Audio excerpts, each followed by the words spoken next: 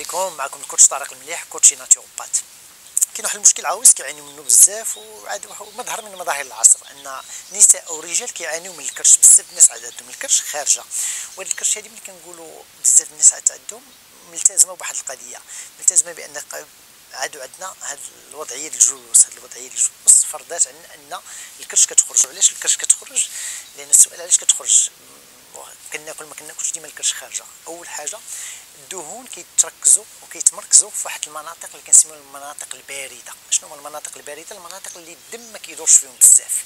مثال مثال بسيط بزاف الناس كيبداو الرياضة كيقول لك وجهي كيضعف في ساعة الوجه كيضعف هو الأول علاش؟ لأن الوجه فيه بزاف العروق الشرايين والأوعية الدموية دوك الصغيورين يعني كي داكشي اش كنتزنقوا الدم كيدور بزاف يعني منطقة ساخنة. اليدين ما كيغلاضوش منطقة ساخنة.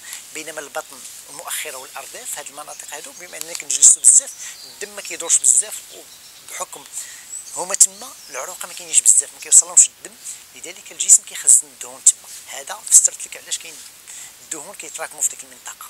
ولكن اللي مهم عندنا باش نحيدوا ديك الكرش غنعطيك بعض الخطوات اللي بسيطة وسهلة باش نحيدوا الكرش.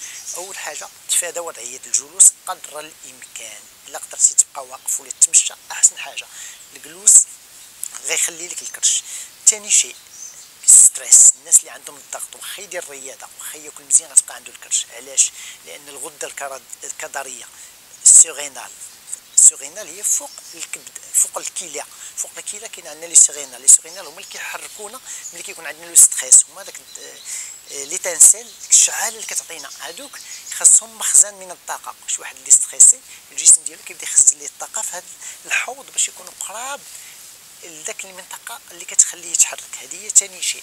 ثالث شيء الماكلة ديالو معتمدة على السكريات السريعة والبطيئة. السكريات السريعة بحال السكر العادي اللي كناكلوه ولا المضاف اللي كنديرو في القهوة ولا في أتاي ولا الفركتوز اللي كاين في الفخوي ولا الفواكه. حتى هما فيهم السكريات السريعه ولا السكريات البطيئه هما المعجنات. كاع المعجنات بطاطا الأرز سباكيتي لي بات الناس كياكلوا معجنات هذه النقطة الثالثة. النقطة الرابعة الوقت ديال الماكلة. الناس بالنهار ما كياكلوش بزاف. بالليل ورا 6 العشية ملي كيدخل للدار ديالو كياكل بزاف وما كيتحركش. اش كيدير الجسم؟ كيخزن.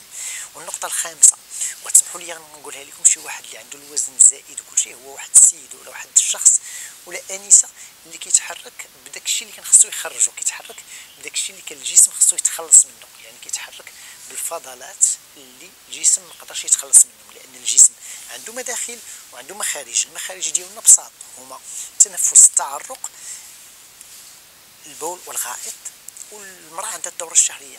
ملي الجسم ديالك كتقوي عليه المداخل أكثر كيبدا يخزن كيبدا يخزن في المناطق الباردة وداك الشيء علاش بنادم كيغلط.